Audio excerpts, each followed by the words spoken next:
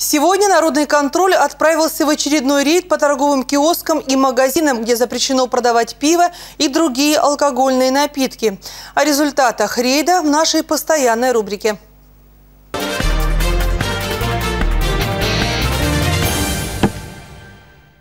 Товарищ продавец, открывайте, я вас к административной ответственности привлеку за невыполнение законного требования сотрудника полиции. Без участкового внутрь подобных торговых киосков попасть невозможно даже народному контролю. Закон защищает права предпринимателей, и они хорошо это знают. Что же касается законов, которые стоят на защите интересов покупателей и просто жителей города, то здесь в юридических познаниях торговцев либо явный пробел, либо полное игнорирование Фемиды. В первом же проверенном киоске снаружи все чинно и благородно, а в закромах где-то совсем в глубине, 6 упаковок пенного и отдельные бутыли по полтора и два литра. Вряд ли, говорят специалисты, эти запасы для утоления собственной жажды, скорее собственной жадности. Вы начинаете оформлять? Да. Тогда я вызываю следующую бригаду. Да. Продавец киоска, что называется, садится на телефон. То ли хозяина вызванивает, то ли предупреждает коллег о возможной проверке. Народный контроль понимает, медлить со следующей точкой нельзя. Так, ребята, ребята, уже сарафанное радио работает. Погнали, погнали. Иначе мы не победим. Вот пиво. Холодильники забиты пивом. На полу стоит пиво. Здесь в ящиках, в коробках, в упаковках. Следующем киоске свою деятельность даже не маскируют. Пиво на витрине и пиво внутри павильона заполняет все свободное пространство. При этом продавец настроен по-боевому, доказывает, что все происходящее – это неправильно. И очевидное нарушение закона для нее – вещь невероятная. Закону этому уже, если мне не изменяет память, уже года три как минимум. Он давно уже действует. Просто что сейчас пошла активная работа в этом направлении, и, соответственно, и вы, и ваш предприниматель будете наказаны.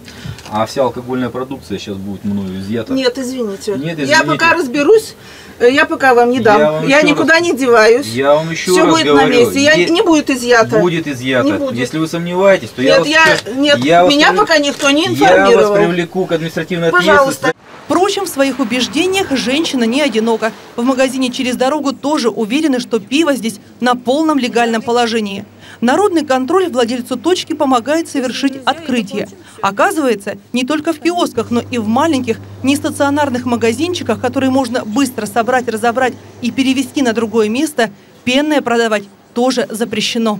Мы слышали телевизором, сказали это там киоском нельзя. Мы же не киоск.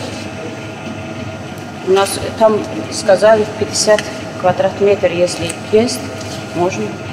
Вместе с этим продавец и владелец магазина утверждает, что они всего лишь распродают остатки пива. Интересно, с чего бы такая распродажа, если все по закону? И, к слову, если здесь так все рдеют за правила, то почему замороженные курицы в холодильнике выложены рядом с кондитеркой? Это же вопиющее нарушение санпинов.